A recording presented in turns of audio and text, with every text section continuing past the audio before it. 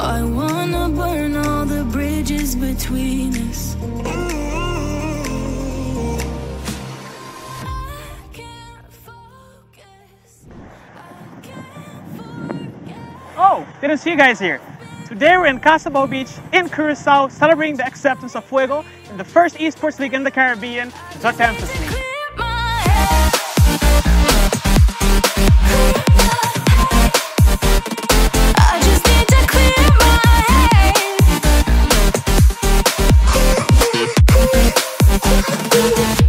The Tempest League is the first esports league in the Caribbean hosted by GG Tech and sanctioned by Riot Games for the game of League of Legends. As most of you know, I'm an ex-professional League of Legends player, also known as Rapid, so as soon as I heard the news about the Tempest League, I know we as Fuego had to apply.